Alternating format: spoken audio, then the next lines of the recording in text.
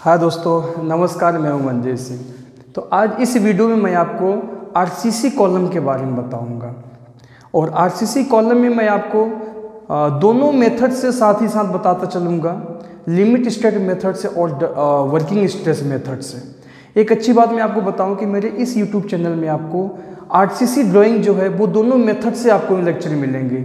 Working stress method से और limit state method से दोनों मेथड से आपको मिलेंगे। आपको जो भी मेथड देखना है, आप यूट्यूब चैनल पर जाकर देख सकते हैं। वैसे आपको दोनों ही मेथड देखना चाहिए, क्योंकि कोई भी कम्पिटेटिव एग्ज़ाम है उसमें दोनों ही मेथड से पूछा जाता है, चाहे वो वर्किंग स्ट्रेस मेथड से हो या लिमिट स्टेट मेथड से है। इसलिए मैं दोनों ही मेथड से आरसीसी ड्राइंग हमेशा बताता हूँ आपको, ठीक है? तो आज का जो हमारा टॉपिक है वो क्या है? आरसीसी कॉलम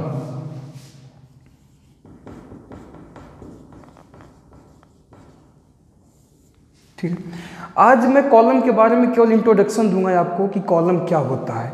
देखिए, कॉलम क्या होता है? एक वर्टिकल मेंबर होता है। ठीक है? कॉलम जब भी आप देखेंगे तो आपको एक वर्टिकल मेंबर की तरह ही दिखाई देगा और जिस पर हमेशा कंप्रेसिव लोड आता है, उसे क्या बोलते हैं? कॉलम बोलते हैं। तो हम कह सकते हैं, column is a vertical member on which the load comes along its vertical axis is that called column? तो क्या मैंने बोला आपको? Column is a vertical member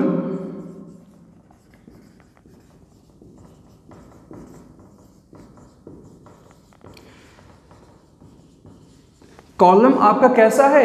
एक वर्टिकल मेंबर है on which the load axis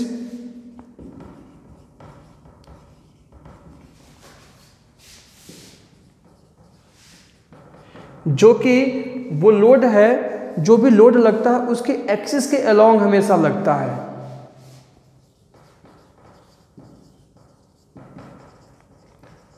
हमेशा कॉलम का जो एक्सिस होता है, उसके हमेशा पैरेलल यानी उसके समांतर हमेशा लगता है। उसे क्या बोलते हैं? कॉलम अगर मैं इसका फिगर बनाऊँगा आपको तो क्या हो जाएगा?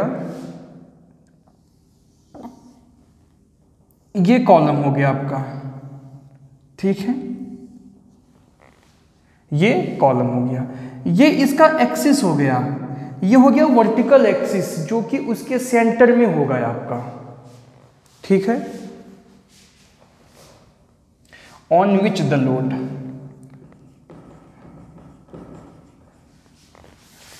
ये क्या हो गया आपका? कॉलम का वर्टिकल एक्सिस हो गया। तो अब ये देखिए, मैंने क्या बोला आपसे? Column is a vertical member column में कैसा मेंबर होता है? हमेशा वर्टिकल मेंबर होगा। जिस पर हमेशा जब भी इसके ऊपर से कोई लोड लगेगा तो वो लोड कैसा होगा? वर्टिकल लोड होगा। वर्टिकल लोड होगा और इस वर्टिकल एक्सिस के पैरेलल हमेशा होगा। तो on which the load axis along its column is that called column आपका। तो देखो, यहाँ पे लोड लगा हुआ है आपका। पी लोड लगा है। यहाँ भी लगा हो सकता है, यहाँ भी लगा हो सकता है, कहीं भी हो सकता है, लेकिन वो लोड हमेशा वर्टिकल एक्सिस के पैरेलल ही होगा।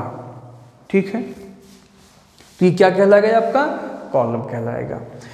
अब ये तो हो गया आपका कॉलम लेकिन बात ये आती है, एक शब्द मैं बता रहा हूँ, आपको होता है पेडिस्टल ये दोनों देखने में आपको ऐसा ही लगेगा पेडेस्टल भी एक प्रकार का वर्टिकल मेंबर होता है, जिस पर जो लोड लगता है, उसके वर्टिकल एक्सिस के पैरेलल, यानी वर्टिकल, यानी हम कह सकते हैं कि pedestal is a vertical member on which the load comes along its vertical axis. दोनों का डेफिनेशन सेम है दोनों में डिफरेंट क्या है? दोनों में डिफरेंट ये है कि अगर इसके हम क्रॉस सेक्शन की बात करें तो मान लीजिए क्रॉस सेक्शन इस कॉलम का ये हो गया, ये भी लेंथ बी है और ये भी लेंथ क्या है? बी लेंथ है। दोनों का साइज़ मान लीजिए बी है तो अगर देखिए, ये इसका शेप या तो स्क्वायर हो सकता है या रेक्टेंगल हो सकता है और या तो सर्कुलर हो सकता है। तो एक वर्ड में आपको बता रहा हूँ least lateral dimension least lateral dimension क्या होता है? कि कॉलम के क्रॉस सेक्शन का जो सबसे मिनिमम साइज़ होता है, उसे लीस्ट लेटरल डायमेंशन कहते हैं। लीस्ट लेटरल डायमेंशन आपका स्क्वायर कॉलम में कोई भी एक साइड ले लेंगे, उसे बोलते हैं least lateral dimension. Rectangle shape में अगर बात करें तो दोनों लेंथ में जो सबसे कम होता है, उसे बोलते हैं और सर्कुलर कॉलम में जो डाया ऑफ़ कॉलम होता है, उसे बोलते हैं लीस्ट लेटरल डायमेंशन। तो अगर मान लीजिए इस कॉलम का जो इफ़ेक्टिव लेंथ है, वो स्मॉल एल है। ठीक है? स्मॉल एल है। अगर स्मॉल एल और उसके लीस्ट लेटरल डायमेंशन का रेशियो थ्री या थ्री से कम होता है, यानी L upon B is less than and equal three this is called pedestal और यदि L upon B is greater than three that is called column बात समझ में बहुत ही अच्छा चीज़ मैंने आपको बताया हुआ है। ये हमेशा एग्ज़ाम में कंपिटेटिव एग्ज़ाम में पूछता है ये क्वेश्चन कि कॉलम क्या होता है पेडेस्टल क्या है होता है? तो आप कह सकते हैं कि इफ़ेक्टिव लेंथ और लीस्ट लेटरल डायमेंशन का रेशियो थ्री से ज़्यादा होगा। अगर थ्री से ज़्यादा होगा तो क्या हो जाएगा? कॉलम हो जाएगा और अगर थ्री या थ्री से कम होगा तो क्या हो जाएगा? पेडेस्टल जिसे चौकी हिंदी में बोलते हैं। छोटा सा चौकी टाइप बना हुआ होता है, उसे क्या बोलते हैं? पेडेस्टल ठीक है? तो यहाँ पर इस चैप्टर में हम जो है केवल कॉलम के बारे में स्टडी करेंगे। ठीक है? तो आज अब मैं अगला टॉपिक बताने जा रहा हूँ आपको classification of column classification of column बहुत ही अच्छा क्वेश्चन अच्छा टॉपिक है ये। इस टॉपिक में काफ़ी चीज़ें कवर कर लूँगा मैं। क्लासिफिकेशन ऑफ़ कॉलम देखो, तीन टाइप्स तीन बेस्ड ऑन थ्री टाइप्स का ऐसा है जिसे क्लासिफाइड किया गया है। Based on loading system bed on based on effective length and based on shape of cross section ये तीन टाइप से इसे क्लासिफाइड करते हैं। तो पहला अगर मैं बात करूँगा based on loading loading system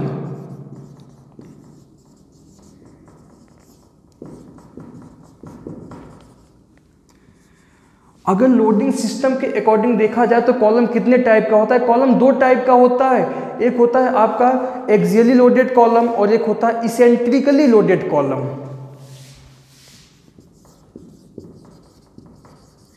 axially loaded column and second eccentrically loaded column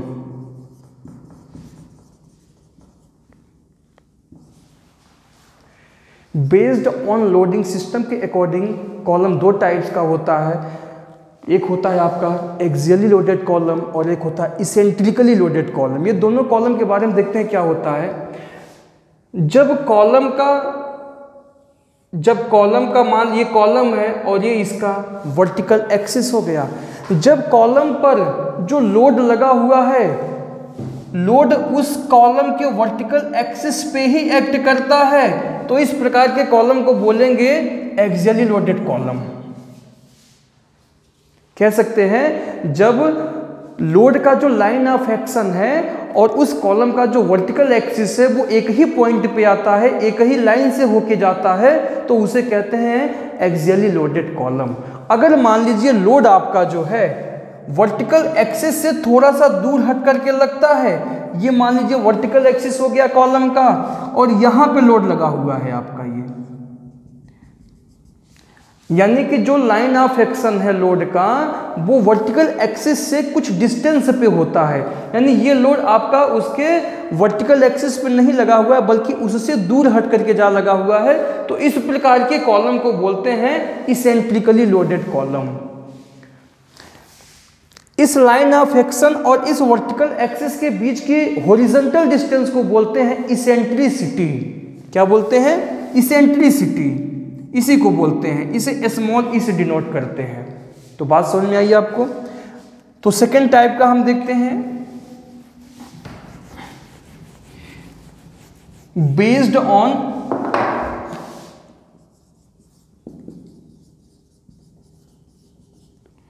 length length के अकॉर्डिंग देखा जाए तो कॉलम कितने टाइप का होता है?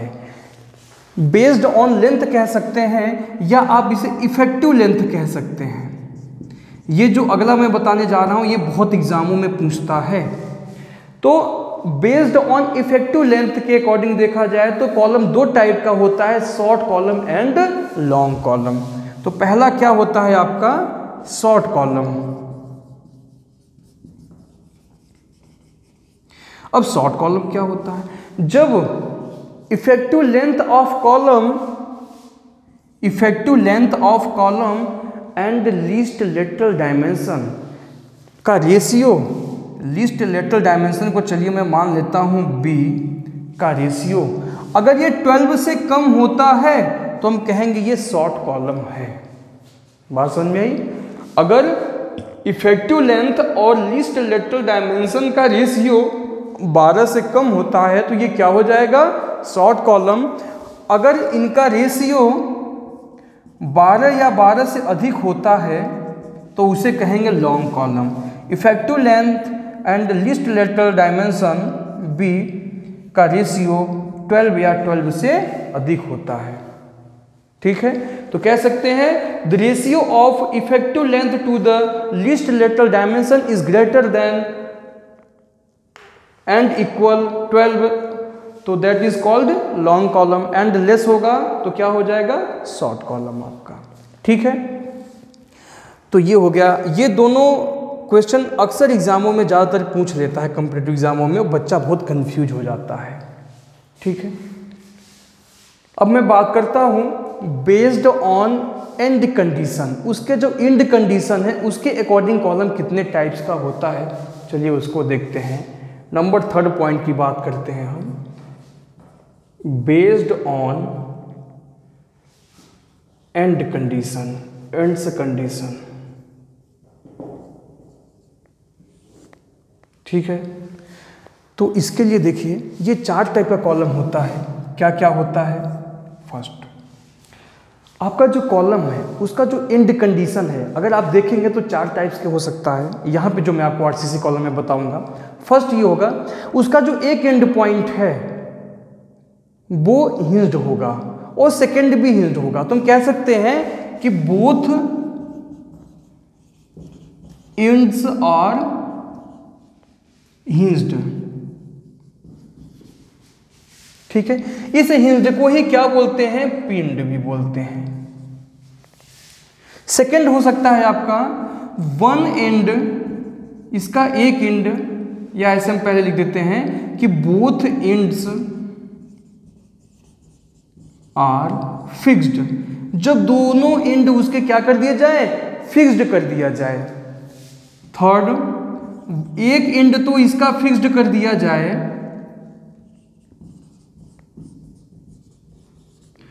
एंड अदर जो सेकेंड वाला एंड है उसका एंड उसे क्या कीजिए? अदर एंड फ्री कर दिया जाए। एक तो फिक्स कर दिया गया और दूसरा क्या किया गया? फ्री कर दिया गया उसे। And last one ends are hinged एक तो हिंस्ड कर दिया गया एंड अदर फिक्स्ड कर दिया गया। ये चार टाइप का होता है। तो मैं आपको बता दूँ इफ़ेक्टिव लेंथ डिपेंड करता है हमेशा इस इंड कंडीशन पे। तो मैं यहाँ से इफ़ेक्टिव लेंथ का निकालने का फॉर्मूला भी आपको बता दे रहा हूँ। एक ऐसे कॉलम बना लेते हैं।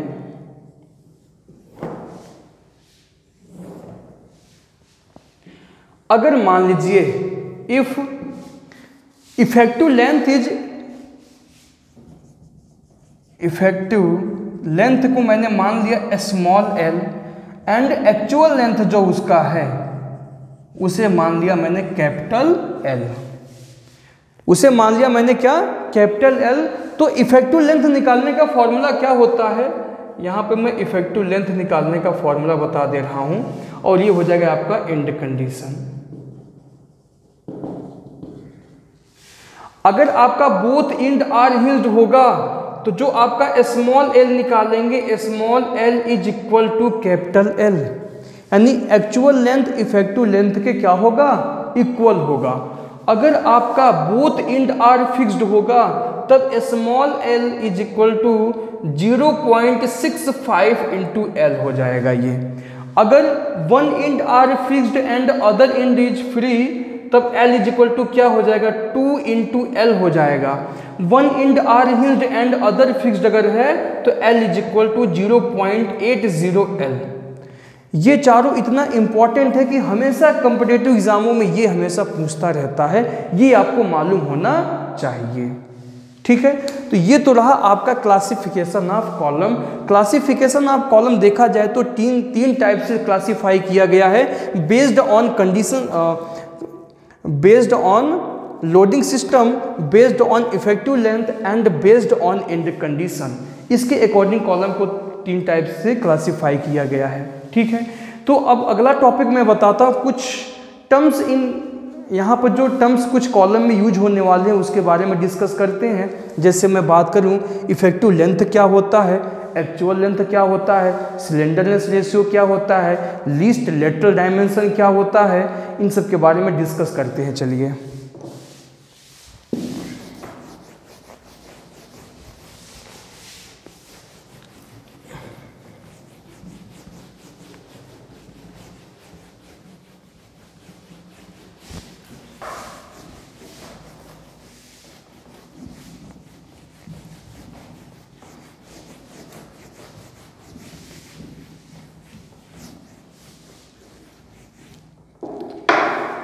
देखिए शॉर्ट कॉलम का जो स्ट्रेंथ होता है ना लॉन्ग कॉलम से हमेशा ज़्यादा होता है।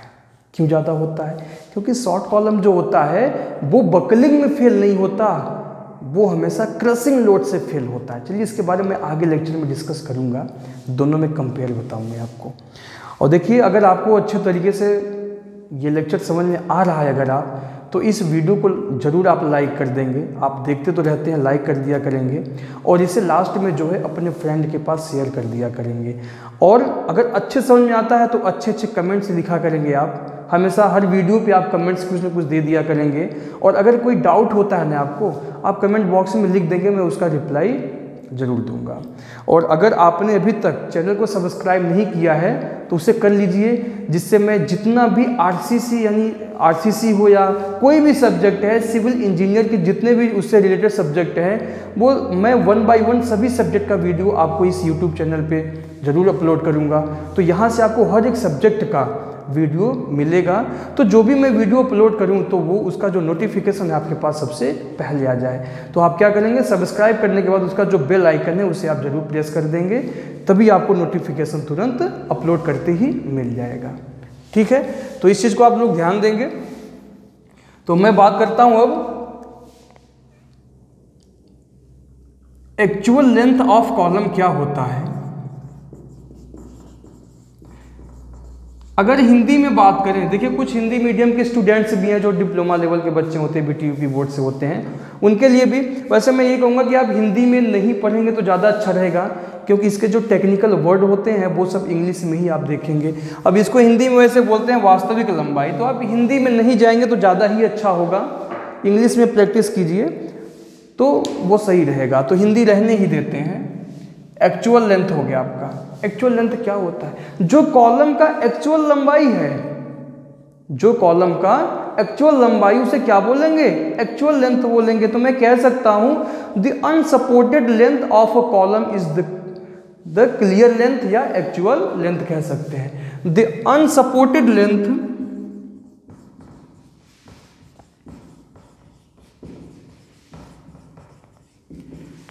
the unsupported length of a column is actual length कहिए आप इसे? या क्लियर लेंथ कह सकते हैं। बात समझ में आई कि नहीं आपको? तो the unsupported length of a column देखिए मैं आपको बता दूँ कि जैसे मान लीजिए आपका ये कॉलम हो गया। ठीक है? यहाँ पर इसका एंड फिक्स्ड कर दिया गया है और यहाँ भी फिक्स्ड कर दिया गया है। ठीक है? फिक्स्ड कर तो ये जो एक्चुअल लेंथ है आपका यहाँ से लेके यहाँ तक, ये क्या हो जाएगा? ये आपका होगा एक्चुअल लेंथ हो जाएगा। बात में आई कि नहीं? अनसपोर्टेड अनसपोर्टेड का मतलब क्या है? कॉलम का कुछ लंबाई क्या है? सपोर्ट किया गया है। नीचे भी सपोर्ट हो सकता है। कुछ आपका ऊपर स्लैब में भी सपोर्ट है। तो अनसपोर्टेड, जो सपोर्ट नहीं है, जितना आपको लेंथ दिखाई दे रहा है, वो क्या हो जाएगा आपका? Actual length of column it is denoted by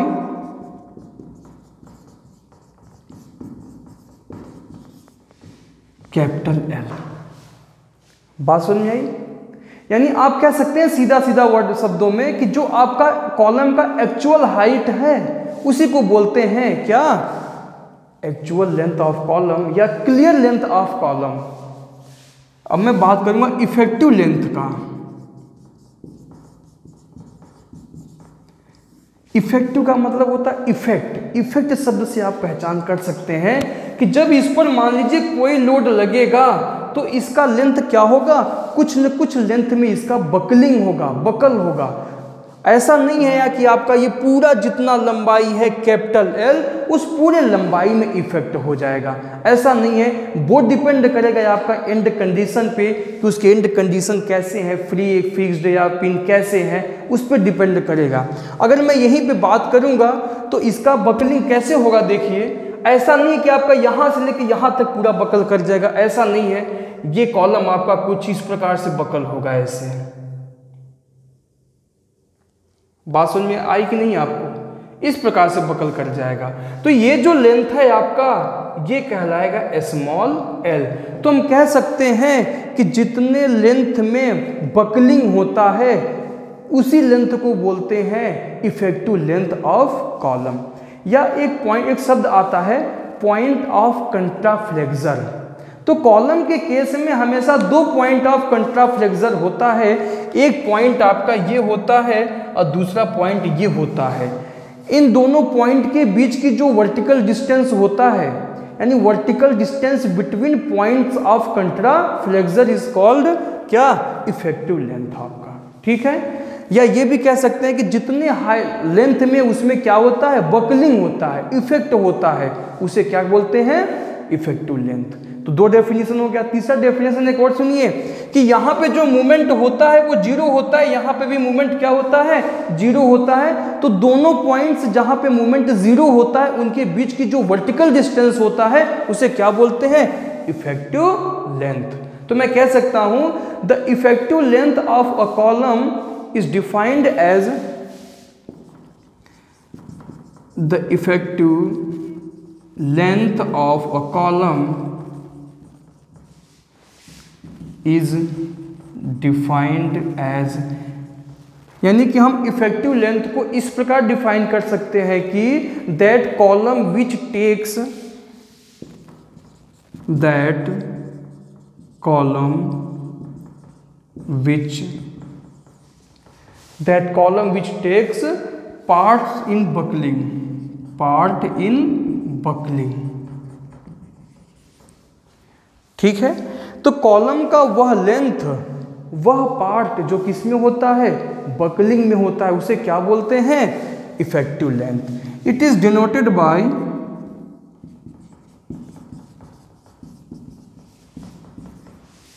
small L ठीक है? बात समझ में आई? अब मैं बात करूँगा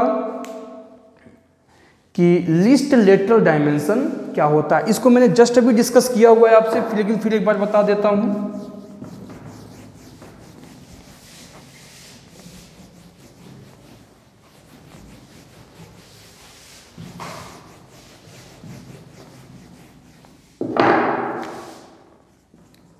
लीस्ट थर्ड टर्म्स है। लेटरल डायमेंशन क्या होता है? कॉलम के क्रॉस सेक्शन का जो मिनिमम साइज़ होता है, उसे क्या बोलते हैं? Least lateral dimension. अगर हम स्क्वायर के लिए बात करें, और स्क्वायर का साइज़ मान लीजिए क्या है? ये दोनों बी है, ये भी लेंथ बी है आपका, ये भी लेंथ बी है तो बी क्या हो जाएगा आपका? L L D least lateral dimension. अगर मैं बात करूँ फॉर सर्कुलर कॉलम की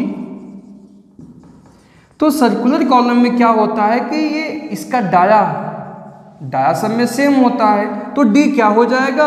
L L D least lateral dimension अगर मैं रेक्टेंगल की बात करूँ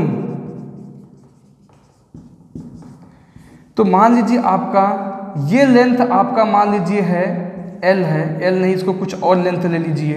मान लो एक्स है और ये लेंथ वाई है तो x क्या है? x की लेंथ ज़्यादा है वाई की लेंथ कम है। तो मान लीजिए वाई की लेंथ अगर ये कम है, ये मिनिमम अगर है आपका तो y क्या हो जाएगा ये आपका? मान लो ये 300 सौ mm का लेंथ है, ये 200 सौ mm का लेंथ है तो ये लेंथ कम है तो y क्या हो जाएगा? L L D least lateral dimension बात समझ में आई? चलिए, अगला टॉपिक पे आते हैं।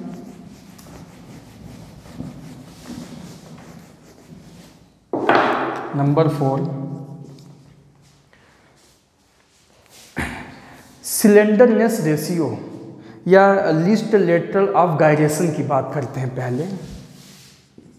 लीस्ट लेटरल ऑफ़ गाइडेशन इसको मैंने स्मॉल बी से डिनोट किया है और लीस्ट लेटरल डायमेंशन को आर से डिनोट करता हूँ। आर का फॉर्मूला क्या होता है? R is equal to under root I upon में ए ये फॉर्मूला होता है लीस्ट लेटरल ऑफ़ गाइलेशन का। Under root I upon A where I is equal to क्या? आई हम कहते हैं मूवमेंट ऑफ़ इनर्सिया आई होता है आपका मूवमेंट ऑफ़ इनर्सिया वैसे मैंने आपको बताया हुआ है पिछले सोम में लेक्चर में कि रेक्टेंगल के लिए बी डी क्यूब अपान में 12 या डी बी क्यूब अपान में 12 होता है पाई डी की पावर फोर अपान में 64 सर्कुलर के लिए होता है, लेकिन यहाँ पे कंक्रीट ये आरसीसी कॉलम है। तो यहाँ पर कंक्रीट और स्टील दोनों क्या है? मिक्सड है। तो उसके इक्विवेलेंट बनाने के लिए यहाँ पे जो आपका मोमेंट ऑफ़ इनर्सिया आई लिया गया है, वो क्या होता है? I is equal to B D cube upon में twelve plus M minus one into S into Y ये आप, ये किसके लिए है? ये रेक्टेंगल के लिए है. फॉर रेक्टेंगल के लिए. ये हमेशा कंपिटेटिव एग्ज़ाम में आता है. आप याद रखेंगे कि कॉलम के केस में अगर रेक्टेंगल शेप में है तो उसका मोमेंट ऑफ़ इनर्सिया क्या होता है? बहुत इंपॉर्टेंट चीज़ है ये. बी डी क्यूब पान में twelve plus M minus one into A S into Y square ठीक है? ये एलएसएम के केस में मैंने लिखा हुआ है, क्योंकि तो एम क्या है आपका? मॉडुलर रेशियो है आपका ये। बी और डी आप जानते हैं साइज़ ऑफ़ रेक्टेंगल बीम है बी है आपका, उसका ब्रिथ डी है, उसका डेप्थ ए एस क्या है? एरिया ऑफ़ स्टील है वाई क्या है? उस एरिया के सेंटर से उसके जो जो न्यूट्रल एक्सिस है, उसके वहाँ तक का डिस्टेंस है। और सर्कुलर की अगर मैं बात करूँ तो I is equal to pi D की पावर फोर अपान में sixty four plus M minus one into E S into Y square ये फॉर्मूला है, केवल फॉर्मूला मैंने आपको बता दिया। वैसे आपको इतना ही याद रखना कि R is equal to I upon में ए होता है। ठीक है? चलिए, अब मैं बात करता हूँ सिलेंडरनेस रेशियो का। सिलेंडरनेस रेशियो इसे एस आर से डिनोट करते हैं। अब ये क्या होता है? Slenderness ratio ratio of effective length to the least radius of gyration is called slenderness ratio तो मैं कह सकता हूँ कि सिलेंडरनेस रेशियो एस आर क्या होता है? Effective length L E F कह सकते हैं, केवल स्मॉल एल कह सकते हैं effective length and least lateral of gyration दोनों का रेशियो क्या कहलाता है? सिलेंडरनेस रेशियो लेकिन कॉलम के केस में कॉलम के केस में क्या होता है? इफ़ेक्टिव लेंथ और लीस्ट लेटरल डायमेंशन इसका जो रेशियो होता है, वो कहलाता है सिलेंडरनेस रेशियो तो ये दोनों ही फॉर्मूले आपके कॉलम के केस में जो least lateral radius of gyration होता है, उसके स्थान पे हम ले लेते हैं। क्या ले लेते हैं? Least lateral dimension. इसलिए आपको यहाँ पे आर निकालने की कोई आवश्यकता नहीं पड़ेगी। वो तो मैंने आपको फॉर्मूला बता दिया बस यहाँ पर। अगला पॉइंट पे मैं चलता हूँ। सिलेंडरनेस रेशियो हो गया आपका। अब कुछ रेनफोर्समेंट के बारे में देख लेते हैं। तो यहाँ पर देखिए दो टाइप का एनफोर्समेंट प्रोवाइड किया जाता है। एक होता है वर्टिकल मेन बार और दूसरा होता है टाई बार अगर एनफोर्समेंट की बात करें हम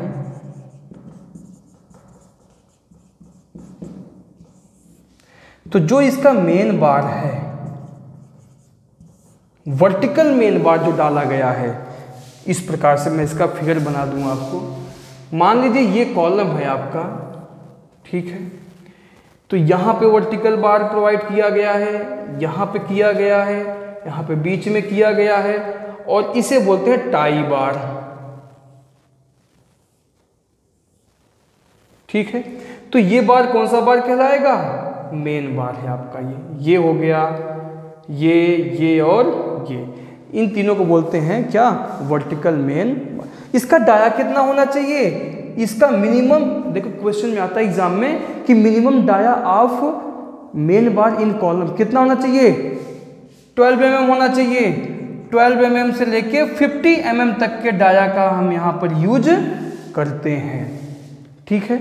नंबर ऑफ़ बार मिनिमम कितना होना चाहिए? मैक्सिमम डिपेंड करेगा उसके लोड पे। जितना लोड ज़्यादा लगेगा, उतना हम रेनफोर्समेंट बढ़ा देंगे। लेकिन मिनिमम कितना होगा? मिनिमम की अगर हम बात करें तो मिनिमम में क्या हो जाएगा आपका?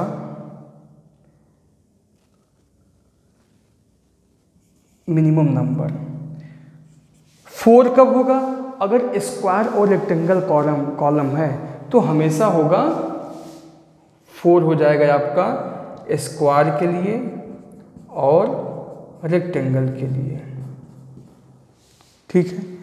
Minimum number of bar in column, square और रेक्टेंगल शेप के लिए चार होना चाहिए और सिक्स मिनिमम होना चाहिए किसके लिए? सर्कुलर के लिए। ठीक है? इससे कम नहीं होना चाहिए। अब मैं बात करता हूँ कवर का। कवर बहुत इंपॉर्टेंट चीज़ है इसका। कवर कितना होना? तो कॉलम में जो कवर होता है 40 एम mm या या डाया ऑफ़ मेन बार, इन दोनों में जो मैक्सिमम वैल्यू होता है, वो कहलाता है कवर आपका। तो मैं कह सकता हूँ कि 40 एम mm और डाया ऑफ़ मेन बार, बहुत इंपॉर्टेंट चीज़ है ये कवर का। अक्सर हमेशा एग्जामों में पूछता है 40 एम mm या डाया ऑफ़ मेन बार, इसमें जो मैक्सिमम वैल्यू होता है, वो कहलाता है क्या? कवर। और दो पॉइंट मैं बता दे रहा हूँ, आप ऐसे लिख लीजिए।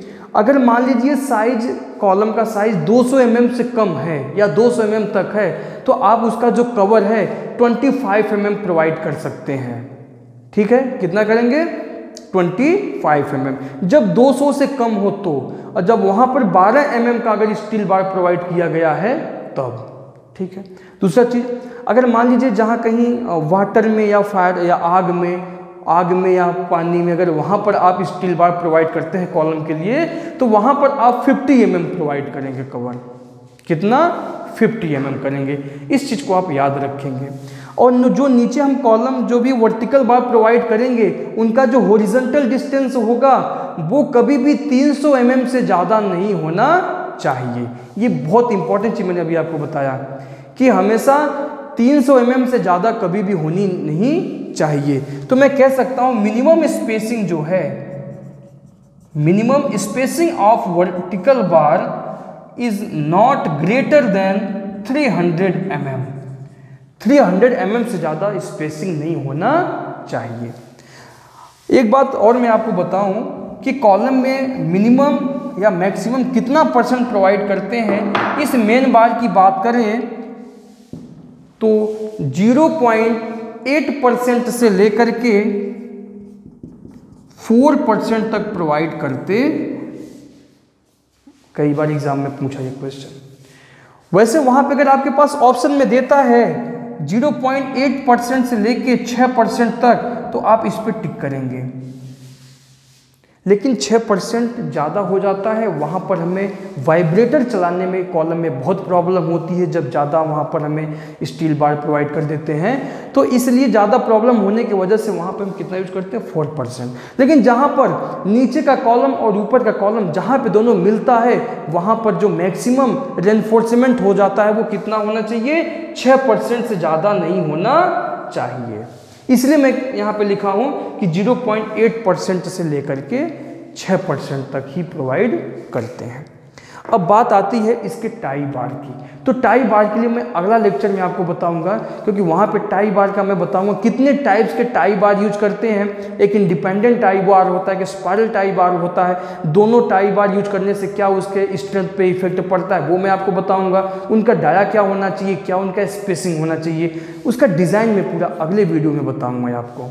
लेकिन एक चीज़ मैं आपको और बता दूँ, जब मैं आपको क्लासिफिकेशन ऑफ़ कॉलम बता रहा था तो वहाँ पे मैंने जो है आपको तीन टाइप्स के बताया एक based on loading system based on effective length उसके बाद मैंने आपको बता दिया based on end condition based on end condition कह भी सकते हैं और या तो उसे आप एक अलग टॉपिक से भी पढ़ सकते हैं। आपका वो एक अलग टर्म्स हो गया है आपका, या एंड कंडीशन भी है आपका कॉलम ऐसा नहीं है।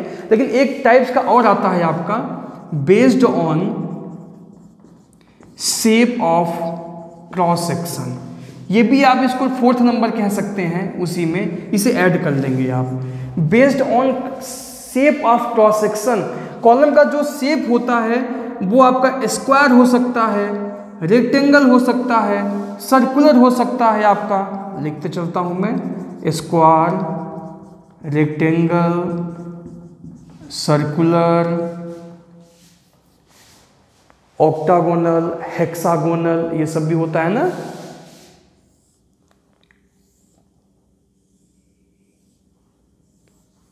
ठीक है, one, two, three, four, five, six, octagonal भी ऐसे होता है। ठीक है?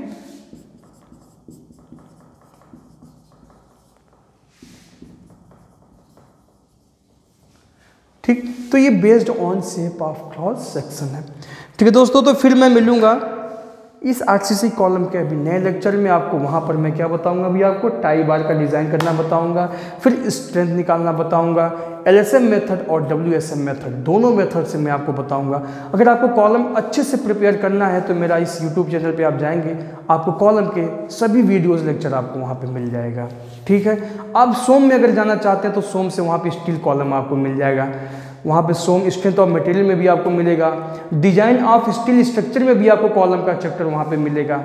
ठीक है? तो आप लोग मेरे इस यूट्यूब चैनल से जुड़े रहिए और आपको नए नए लेक्चर पूरा मिलता रहेगा हर एक सब्जेक्ट का। और कुछ काफ़ी अच्छे अच्छे पॉइंट भी मैं आपको बताऊँगा। आप चाहे सब्जेक्टिव तैयारी कीजिए या उसको ऑब्जेक्टिव कीजिए, आपको हर एक प्रकार से वहाँ पर लेक्चर प्रोवाइड मिलेगा। तो ठीक है, फिर मैं मिलता हूँ नेक्स्ट वीडियो में। अगर अभी तक आपने इसको लाइक नहीं किया वीडियो को तो लाइक कर देंगे और इसे ज़्यादा से ज़्यादा शेयर करेंगे। और चैनल को सब्सक्राइब नहीं किया है तो कर लेंगे। चैनल का नाम है टारगेट स्टडी पॉइंट